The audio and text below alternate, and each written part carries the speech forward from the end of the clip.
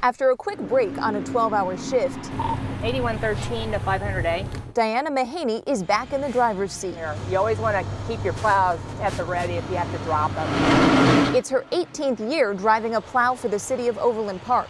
Thursday's snowfall has kept her busy for two days. Yesterday it was snowing harder than we could keep up. So what lane you would do, you'd turn around do the other side, it would already be covered and you're like, oh shoot, I guess I'll be coming back to that. On Friday, crews across the metro spent the day revisiting main roads and side streets. So you can see here it gets a little tight. Traffic can make it tricky. Sometimes you'll drive and one car will be coming in there. You'll get cars from all directions and nobody's moving, so you're just kind of stuck there. The biggest challenges were the traffic. A lot of people were on the streets, so makes it uh, complicated for me to do my job. There were several uh, cases of cars that were spun out or crashes, and so our plows having to, you know, navigate around that.